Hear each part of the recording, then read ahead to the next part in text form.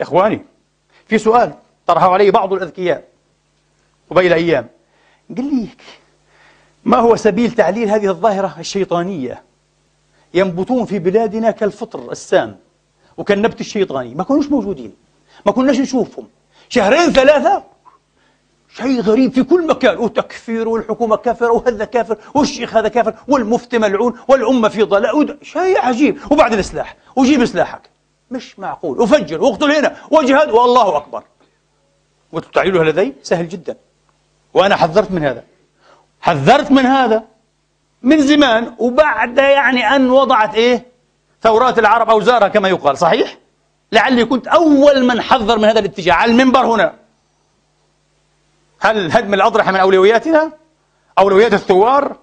هذا اتجاه عجيب وغريب أيها الإخوة أن يعقب الثورة وأن يكون نتاجا للثورة والآن هو يشق الأمة ها؟ ويجهض الثورة وأحلامها ويقضي على أهدافها. نسأل الله لهم ولنا الهداية والتسديد. وبين المزدوجين أقول لكم شيئا. عشان ما أكون لا أحب النفاق والمداراة والمداجاة. أنا أقول لكم شيئا. والله الذي لا إله إلا هو. من صدقت نيته في طلب الحق واستبصاره هداه الله ودله. لكن من كانت نيته كما قلت لكم التنفيس عن أحقاده التنفيس عن حسده عن غيرته أيها الإخوة عن تعصبه عن أولوياته عن مصالحه عن أجنداته. في ناس عندها أجندات. هو توجه بال remote control. هذا محال محال محال إلا أن يشاء الله ربي شيئا أن يرى للحق وجها أو يرى للحقيقة بصيص نور. هذا أعمى يعيش أعمى ويموت أعمى.